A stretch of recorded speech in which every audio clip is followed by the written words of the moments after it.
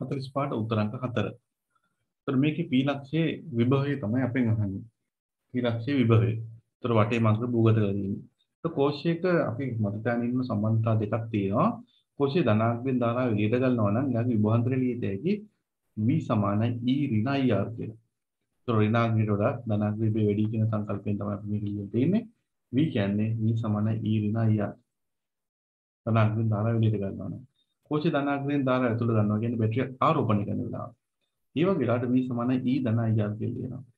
ඒකත් අපි ලියලා තියෙන ඍණාත්මක සාපේක්ෂව ධනාත්මක වැඩි කියන සංකල්පයෙන් තමයි ලියලා තියෙන්නේ. එතකොට මේ කේරියට ඔක්කොගෙම ඍණාත්මක භූගත කරලා තියෙන p අග්‍රයට තමයි ධනාත්මක සම්බන්ධය ධනාත්මක පැත්ත සම්බන්ධයි. එතකොට මේකේ ධාරා ලකුණු කරන එකම පැත්තට.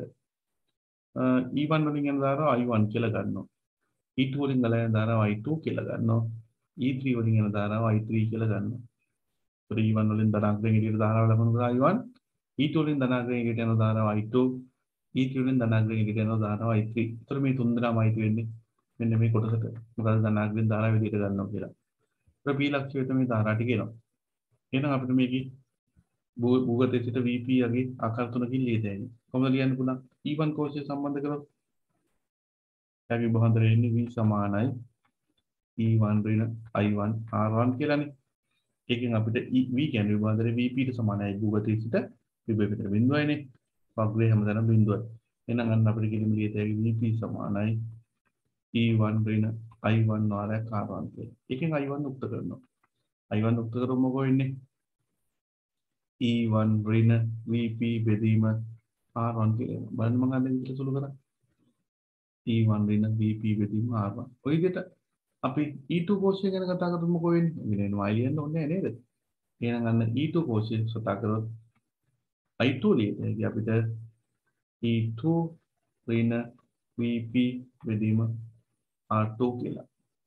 E3 කෝෂය කතා කරොත් එහෙනම් I3 ලියන්න පුළුවන් අපිට E3 ඍණ VP බෙදීම R3 කියලා. අපි ඕනම සංඛ්‍යාවක් විතර ධාරාවන්ගේ VGIK ශුන්‍යයි. ඕනම සංඛ්‍යාවක් විතර ධාරාවන්ගේ VGIK ශුන්‍යයි. ඒක තමයි ගචප් එක නියපේ. එහෙනම් I1 ධන I2 ධන I3 සමාන වෙනවද බිඳුවට. හන්දි විතර ධාරා තුනම ඇතුළේ වෙන විදිහට අපි යන්නේ. එන ඒ තුන එකතු බිඳුව වෙනවා. I1 ලියන කොහොමද? E1 ඍණ VP බෙදීම R1 ධන E2 ඍණ VP බෙදීම R2 ධන E3 ඍණ VP බෙදීම R3 සමාන බිඳුව. දැන් VP එන් විදිහට සුළු කරගෙන යමු ටිකක් සුළු කරන් තියෙනවා. අපි පොදු කරේ ගන්නවා R1 R2 R3 කියලා. ඒතර මොකෝ වෙන්නේ E1 වැඩි වෙන්න ඕනේ R2 R3 වලින්.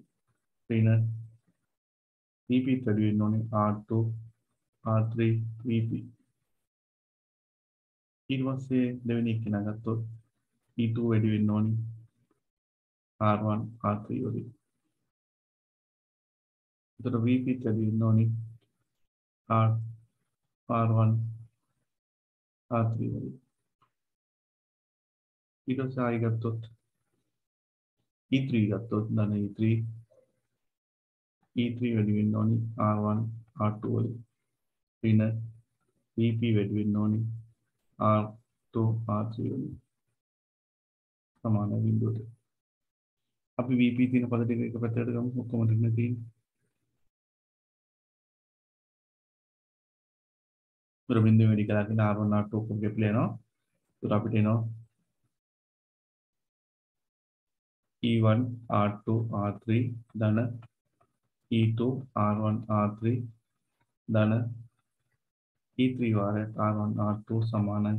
VP එළියට ගත්තොත් අපිට එනවා R2 R3 ධන. R1 R3 ධන R2 R3 VP R2 R3 හරි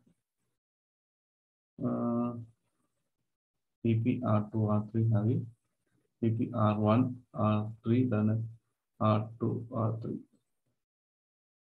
R2 R3 මුලින්ම ලියන්නේ අපි ඊට පනුවයි R2 R3 වල ඉතින් ඉන්නේ අපිට දෙවෙනි එකේ දෙන්නේ R1 VP R1 R2 නේ R1 R2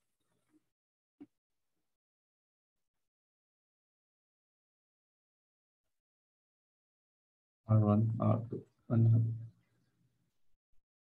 දැන් අන්න අපි VP යුක්ත කරලා තියෙනවා. ඒතර ඔය ටික තමයි එන්නේ මේ ටික බෙදලා එනවා හරිද E1 R2 R3 ධන E2 R1 R3 ධන E3 වාරයක්. E3 වාරයක් R1 R2